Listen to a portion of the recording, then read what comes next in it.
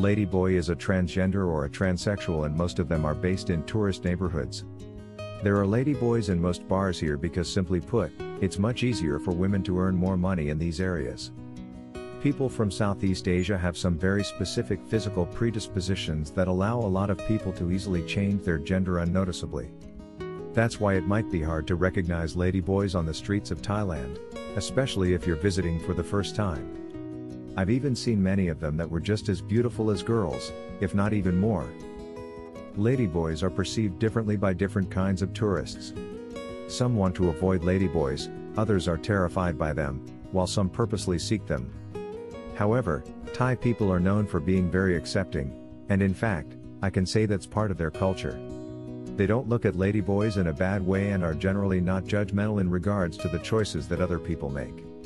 Be like them. Personally, I have nothing against transsexuals and they have my full support when it comes to expressing themselves. I just thought it would be a good idea to make this video and give fellow travelers some useful tips on how to recognize ladyboys in Thailand because at times that might seem like a mission impossible. 1. Pay attention to these parts of her body.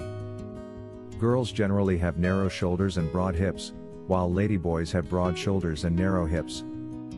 Women's forearms are a bit bent, while men's forearms are straight. Don't rely on spotting the Adam's apple, as there are surgical procedures to have the bone shaved back. The average height of a Thai woman is 157.3 centimeters while the average height for a man is 167.5 centimeters.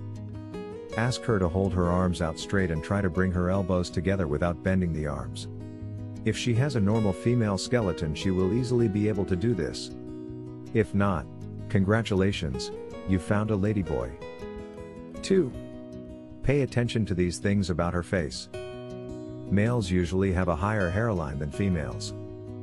Males have a horizontal ridge of bone above our eyebrows, while females have much smoother and flatter forehead. The eyebrows of females are generally positioned higher and there's more room between the eyes and eyebrows. Males' jaws are wider, taller, and often have a sharp corner at the back. 3. The voice. Ladyboys, especially the recent ones try to speak in a higher voice so they can sound more like girls. However, recognizing this is something that takes a lot of time to perfect. You would probably master this skill after staying in Thailand for a couple of months. 4.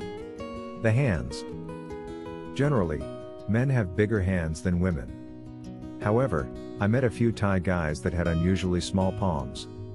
When in doubt, just take her hand and check whether the skin is smooth like it should be with most girls or not. If her ring finger is longer than her index finger, I'm sorry but she's probably a he. 5. The way they dance. I heard this one from an old player that's been visiting Thailand for more than 20 years. The majority of them can't dance to save their life because they still have the male gen. 6. Playing with their hair. Ladyboys almost always fidget with their hair because they are not used to it and are being quite self-conscious about it. 7. Location. Check the map of the city that you are visiting, and speak with locals before going out, especially in Bangkok, Pattaya, and Phuket. For example, Soi 6 district in Pattaya is well known for having a lot of bars where you can find a lot of prostitutes.